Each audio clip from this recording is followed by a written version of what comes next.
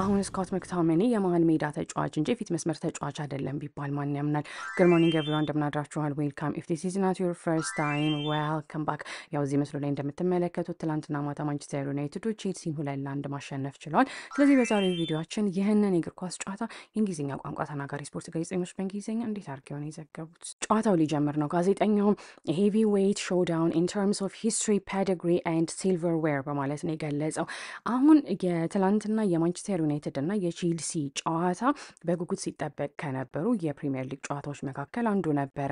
ያም የሆነበት ምክንያት it's because of their history history ታሪክ ማለት አይደለ። ስለዚህ እነዚህ ሁለት ቡድኖች ካላቸው ታሪክ አንጻር ነው እያለ ነው። ስለዚህ እናንተ ወሬያችሁን in terms of የሆነ ነገር ነው ብላችሁ ስታወሩ ከዛ ነገር አንጻር ነው ወይም ደግሞ የእናንተ point of view ያንን ነገር አስመልክቶ መሆኑን እየገለጻችሁ ነው። ስለዚህ in terms of history ከታሪክ አንጻር it's heavyweight showdown ነው ይለናል። ከባድ ጨዋታ ነው እንደማለት ነው።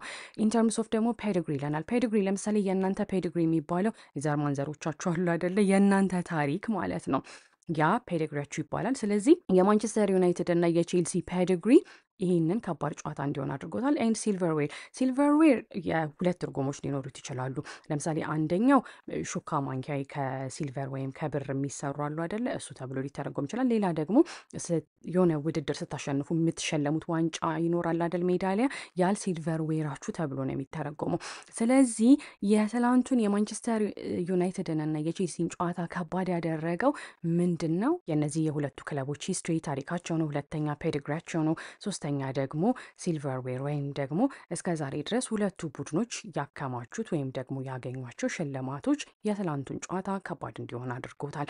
ከዛ ግን in terms of here now አሁን ካላቸው አቋም አንጻር ግን it's meeting of two of the season's crisis club ይለናል። ለምሳሌ እናንተ I'm in crisis የምትሉ ከሆነ በጣም struggle እያደረኩ ወይም እየተቸገርኩኝ ነው፣ ቀውስ ውስጥ ነው ያለሁት፣ ደስ የማይል ሁኔታ ውስጥ ነው ያለሁት ብላችሁ እየገለጻችሁ ነው። ስለዚህ two of the season's crisis clubs በሚልበት ጊዜ እነዚህ የዚህ season ወይም ደግሞ የዘንድሮ የውድድር ዘመን ላይ crisis ወይም ውጥንቅጥ ውስጥ አስቀያሚ ሁኔታ ውስጥ ያሉ ቡድኖች የሁለቱ ጨዋታ ነው። አሁን ጨዋታው እየተካሄደ ነው። ከዛ እዚህ ምስሉ ላይ እንደምትመለከቱት የቼልሲው ተጫዋች ያው አንቶኒ እግሩን ረግጦታል አይደለ? እና inside penalty box ወይም የፍጹም ቅጣት ምት መምቻ ውስጥ ስለሆነ there was an appeal ይለናል። እናንተ ለምሳሌ appeal እያረጋችሁ ከሆነ ቅሬታ እያቀረባችሁ ነው ማለት ነው። so there was an appeal for something something የሆነ ነገር ማለት አይደለ? ስለዚህ ለሆነ ነገር ቅሬታ እየቀረበ መሆኑን ነው እዚህ ጋር የሚገልጽልን። there was an appeal for something በሚልበት ጊዜ ምክንያቱም ማንቸስተር ዩናይትዶች ፔናልቲ ሲጠይቁ ነበረ።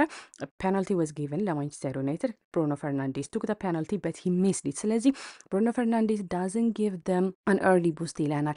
early በጊዜ ማለት ሲሆን አሁን እዚህ ጋር ስምንተኛው ደቂቃ ላይ ብሩኖ ፈርናንዴስ ይሄን ፔናልቲ አግብቶት ቢሆን ኖሮ ይሄ ማንቸስተር ዩናይትድ mood ኣቸውን ወይም ድባባቸውን፣ ስሜታቸውን boost ያደረገው ነበር እንደማለት ነው፣ ያሻሽለው ነበር ተብሎ ሊተረጎም ይችላል፣ ወይም ደስ ያሰኛቸው ነበር። ነገር ግን he did give ማን ዩናይትድ boost needed። ከዛ ይሄኛው ማንቸስተር ዩናይትዶች አግኝተውት የነበረው እድል ምን አይነት እድል ነበረ? it was golden chance ወርቃማ እድል ነበር ወይም ምርጥ እድል ነበር እንደማለት ነው።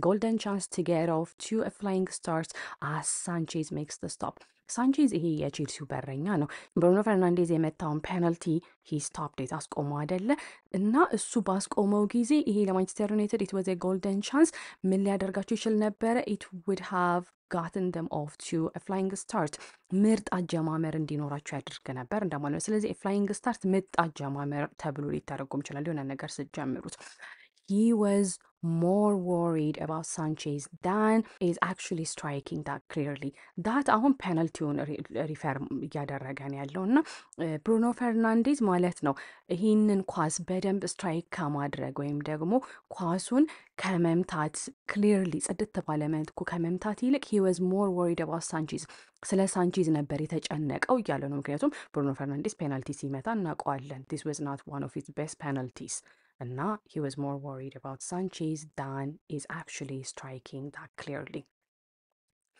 ማንቸስተር ዩናይትዶች የመጀመሪያውን ጎል አገቡ። ስለዚህ now they're leading ቼልሲ one nil ቼልሲን አንድ ለባዶ እየመሩ ነው። ስለዚህ ማን ነው ጎሉን ያገባው? it's the man again በድጋሚ ያ ሰውዬ ነው እንደማለት ነው። man ወንድ ልጅ ማለት አይደለ። ስለዚህ በድጋሚ ያ ልጅ ነው። ስኮት ማክቶሚኒ ሁ ካንት ስቶፕ ስኮሪንግ። ለምሳሌ የሆነ ነገር አይ ካንት ስቶፕ ካላችሁ ያንን ነገር አለ ማቆም አልቻልኩም እንደማለት ነው። እና score ማድረግ ማለት ጎል ማግባት ነው። ጎል ማግባት ማቆም አልቻለም ማ ስኮት ማክቶሚኒ እና it's the man again በድጋሚ ያ ሰውዬ ነው እያለን ነው። ከዛ የማንቸስተር ዩናይትድ የመጀመሪያው ጎል ሲገባ ያው የሚደንቅ ነገር አይደለም because it's been coming በማለት ገልጾልናል። የሆነ ነገር it's been coming ብላችሁ ስትገልጹ ያ ነገር ሲጠበቅ የነበረ ነገር ነው እንደማለት ነው። ስለዚህ ማንቸስተር ዩናይትዶች ብዙ የጎል ሙከራ ሲያደርጉ ስለነበረ goal has been coming ጎሉ ሲጠበቅ የነበረ ነገር ነበረ። so it's been coming በማለት ጋዜጠኛው የገለጸበት ምክንያት ለዛ ነው። goal has been coming እና ማን ዩናይትድ are leading ቼልሲ one nil that brings huge cheers and massive relief for ማንቸስተር ዩናይትድ ይላል። ማንቸስተር ዩናይትዶች በጣም ለማሸነፍ ጓግተው ነበረ። ስለዚህ relief የግልግል ስሜት ተብሎ ሲተረጎም ይሄ የስኮት መክታመኒ ጎል ማለት ነው። that brings huge cheers ትልቅ ደስታንና massive relief ትልቅ የግልግል ስሜትን ለማንቸስተር ዩናይትድ አምጥቷል እያለን ነው ወይም ያመጣል ተብሎ ሊተረጎም ይችላል። so that brings huge cheers and massive relief በማለት የገለጸው ለዛ ነው። አሁን ምስሉ ላይ የምንመለከተው የቼልሲው ተጫዋች ኮል ፓልመር ያቻነቱን ጎል አስቆጠረ። እና ጎሉን ያገባው ማለት ነው። በምን አይነት መልኩ ነው? he doesn't need pace pace ፍጥነት ነው እና ጎሉን ለማግባት ምንም ፍጥነት አላስፈለገውም። he doesn't need power ኳሱንም በኃይል አይደለም የመታው፣ በቃ ዝም ብሎ አገባው ቀለል አድርጎ እንደማለት ነው። ስለዚህ ኮል ፓልመር didn't need pace ምንም በፍጥነትም አላስፈለገውም፣ ኃይልም አላስፈለገውም ያቻነቱን ጎል ለቼልሲ ለማስቆጠር እና ፓልመር የቀድሞ የማንቸስተር ሲቲ ተጫዋች ነበረ። ስለዚህ former የቀድሞ እንደማለት ነው። ስለዚህ ለምሳሌ former prime minister የቀድሞ ጠቅላይ ሚኒስቴር former president የቀድሞ ፕሬዚዳንት እንደማለት ነው። ስለዚህ former Man City man የቀድሞ የማንቸስተር ሲቲው ተጫዋች levels for Chelsea at Old Trafford ኦልትራፎርድ ላይ ቼልሲዎችን አቻ አረጋቸው ተብሎ ሊተረጎም ይችላል። ያቻነቱን ጎል ለቼልሲ ስላስቆጠረ ከዛ ሁለተኛው የማንቸስተር ዩናይትድ ጎል ገባ። ሁለተኛው የማንቸስተር ዩናይትድ ጎል ገብቷል።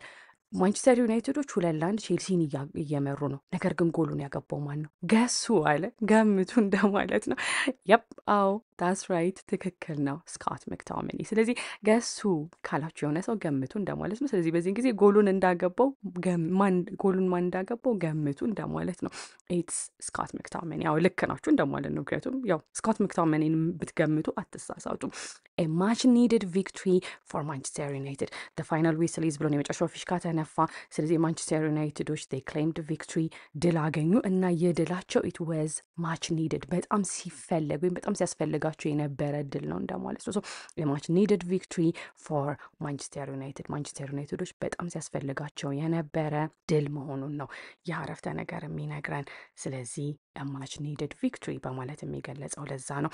ማንቸስተር ዩናይትዶች ጨዋታውን እንዳሸነፉ አይተናል ሁለት ለአንድ። ስለዚህ ይሄ ድል ይገባቸዋል ወይ?